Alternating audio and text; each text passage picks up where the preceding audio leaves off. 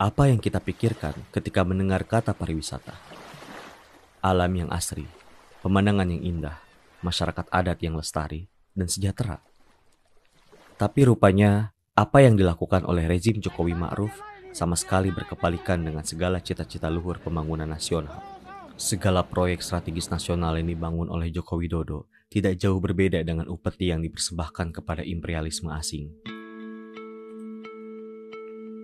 Orientasi dari seluruh pembangunan tersebut hanyalah untuk memastikan terus berputarnya kapital milik imperialis agar tidak membusuk dalam berangkas lembaga-lembaga oligarki finance milik mereka.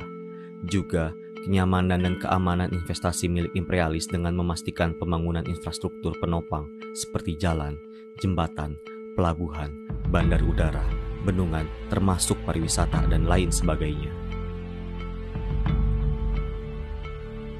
Melalui Peraturan Menteri Koordinator Bidang Perekonomian Nomor 7 Tahun 2021 tentang perubahan proyek strategis nasional, pemerintahan Joko Widodo menetapkan 20 proyek dan 10 program selama periode 2020 hingga 2024 dengan jumlah anggaran sebanyak 6.555 triliun dari APBN, 1.185 triliun dari utang kepada IMF, World Bank, dan oligarki finance lainnya serta 4.814,9 triliun dari kerjasama pemerintah dengan badan usaha baik BUMN ataupun swasta, serta selanjutnya 142,5 triliun dari pemotongan subsidi kepada publik. Semua proyek strategis nasional Jokowi sama sekali tidak memiliki dampak positif bagi rakyat. Misal pembangunan kawasan ekonomi khusus Mandalika Resort di Pulau Lombok yang dibangun melalui dana investasi Asian Infrastructure Investment Bank sebesar 1,2 triliun rupiah, membuat rakyat harus merelakan 1.250 hektar lahan pertanian dan pemukimannya di tujuh dusun dalam empat desa untuk tergusur begitu saja. Sementara di wilayah Nusa Tenggara Timur, Kabupaten Manggarai Barat menjadi sasaran empuk dari pembangunan proyek strategis nasional Jokowi MA yang tentunya juga akan membawa malapetaka bagi rakyat NTT, terkhusus di Labuan Bajo, Manggarai Barat. Tertanggal 5 April 2018, Presiden Jokowi mengeluarkan Perpres nomor 32 tahun 2018 tentang Badan Otoritas Pengelolaan Kawasan Pariwisata Labuan Bajo Flores (BPO LBF) yang mengatur perubahan status dan pemanfaatan 400 hektar hutan Bowosie, Nggorang di Kabupaten Manggarai Barat. Kawasan hutan ini beralih fungsi menjadi kawasan pariwisata Labuan Bajo dengan skema penghapusan status hutan menjadi kawasan bukan hutan dan skema izin usaha pemanfaatan jasa lingkungan wisata alam.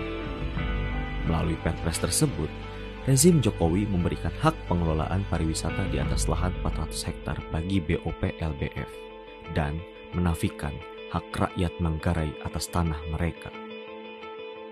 Seperti yang baru-baru ini terjadi, rezim Jokowi lagi-lagi mempertontonkan tindakan anti rakyat dan anti demokrasi dengan melakukan penggusuran paksa di atas lahan seluas 400 hektar untuk memenuhi kebutuhan imperialisme atas nama pembangunan pariwisata. Bukan hanya itu, rezim Jokowi melalui alat negara melakukan penangkapan terhadap kaum tani yang mempertahankan hak atas tanahnya saat menghadang berjalannya penggusuran sepihak tersebut.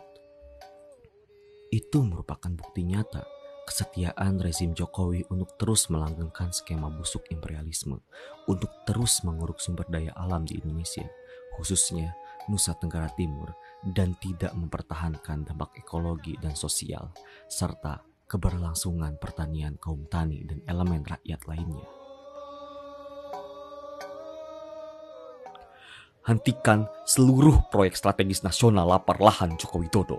Hentikan seluruh aktivitas pembangunan di kawasan hutan Bowosie, Manggarai Barat, dan tarik seluruh aparat keamanan negara di kawasan hutan Bowosie.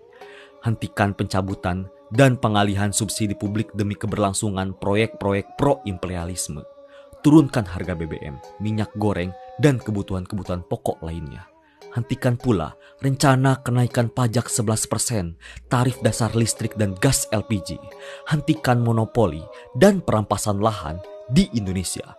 Jalankan reforma agraria sejati dan bangun industri nasional. Perbesar barisan perlawanan rakyat, perhebat perjuangan demokratis nasional sebagai jawaban krisis politik dan ekonomi rakyat Indonesia. Jayalah perjuangan rakyat, salam demokrasi.